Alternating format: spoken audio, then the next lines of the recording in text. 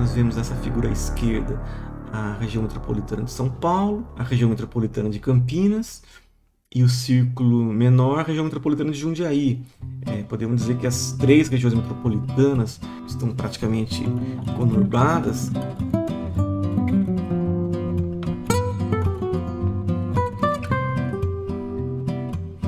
À direita, uma imagem da estação ferroviária de Campinas, também uma bela arquitetura.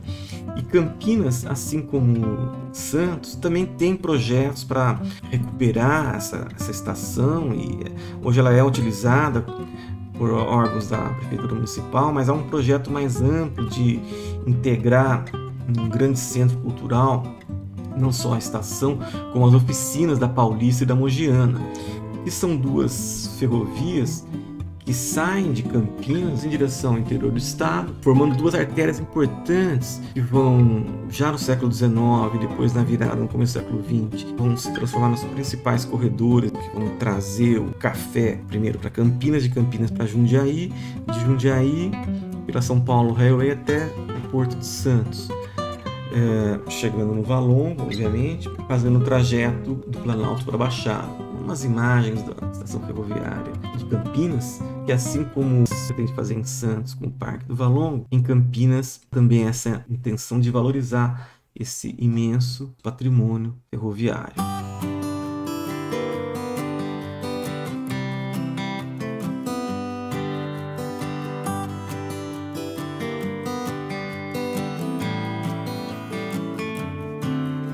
Aí nós vamos encontrar a extensão dos trilhos da São Paulo Railway, feita não pelos ingleses, mas com capital já dos cafeicultores da região de Campinas. É, então há uma extensão dos trilhos até a região de Campinas.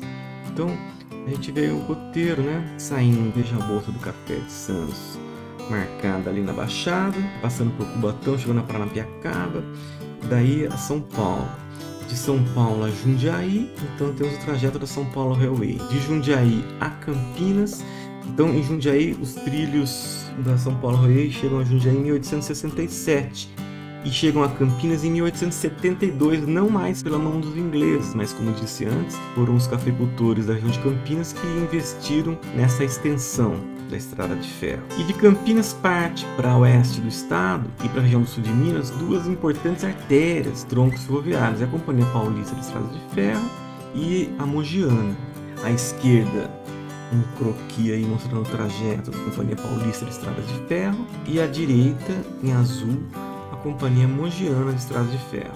Então, todo o café produzido nesse, nessa região do oeste paulista, ele converge para região de Campinas, de Campinas para Jundiaí e de Jundiaí para Santos, passando por São Paulo, chega, chega na Baixada Santista e de Santos café é embarcado para exportação.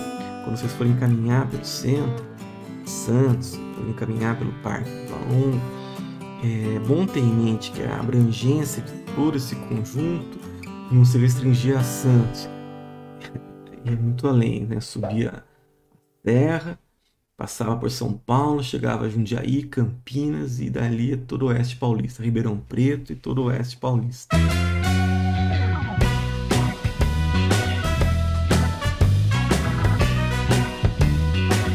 Aqui umas imagens da Companhia Mogiana, Estrada de Ferro, em Ribeirão Preto, no final do século XIX, ali, 1883.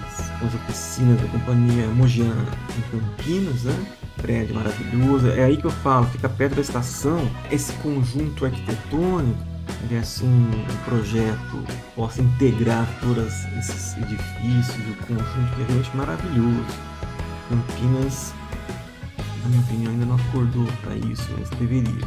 Toda essa integração no território, ela se dá com a construção a inauguração em 1867, depois a utilização ao longo né, até o final do século XIX, começo do século XX, da São Paulo Railway, que todo bom engenheiro e arquiteto olha para essa obra com muito respeito, se fosse construído nos dias de hoje, já seria uma grande obra que tirar né, a sua construção no século XIX. Uma baita obra de engenharia hum, que, que marcou aí a nossa, o nosso território.